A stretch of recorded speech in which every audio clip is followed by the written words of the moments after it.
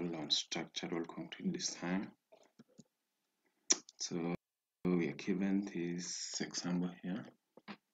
So you're supposed to design a singly reinforced rectangular section. The ultimate design moment to be resisted by a section in figure 4.6 is 185 kilonewtons meter. So, so that's the ultimate design moment to be resisted by the section. So we are given this section. So we have the dimension here B, B being 260. We also have the D from where we have the reinforcements being 440 also we are looking for this area of the tension part so determine the area of tension reinforcement so this as required given the characteristic material strengths are fy so we are given the characteristic strengths of the material being fy being 460 newton per millimeter square and the fcu being 30 newtons per per millimeter square. So first we're going to find the value of k. Okay, going to find use the we're going to use the moment and the dimension here and FCU the characteristic strength of the material. So for for this now for you to get a value of k you have two options. So we are going to look each of them. Okay here you can use for you to get value of k we have you can use this formula m over b d square which b breadth and d being the depth and this fcu being the characteristic strength of the material. So we can use this graph here whereby we have ia in our y-axis being set over d c over d and then on the x-axis you're going to find the value of k. So k is the same as moment at the moment the design moment we divide by b d square fcu so here if we substitute the values here we have our ultimate design moment being 185 kilonewton.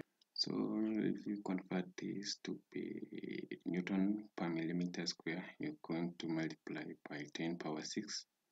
Then you divide by B, which is 260 times D squared being the, our oh, D here is 400 square. So if you substitute here, then you multiply by the characteristic strength 30 then we are going to find get this value which is 0 0.122 or which is less than 0 0.156 so we were going to to determine if we're going to require the compression steel or not.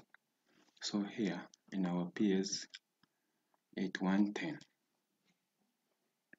for for okay. Here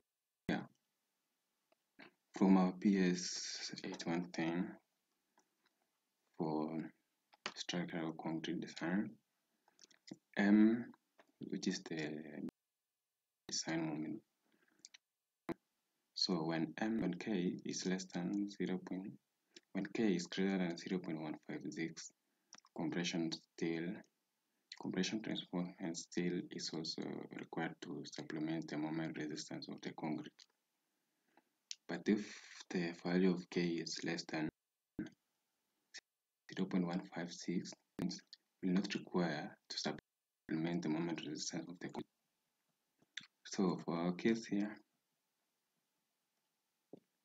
for our case here we got the value of k being less than 0.156 meaning the compression still we don't need there so the next step we're going to find the lever hand. so from our PS 8110 for you to get the value of C. You're going to use this formula solving this so so we we have this by c. It's already, it's already solved so you are going to substitute for which we already have the value of d also the value of k we already have so going to substitute in, in that formula.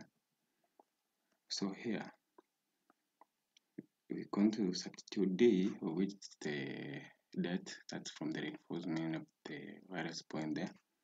So yeah so we have 140 into 0.5 you add the root of 0 0.25 in this formula you less the value of k 0.11 0 0.122 by 0.9 so we're going to get 369 millimeter.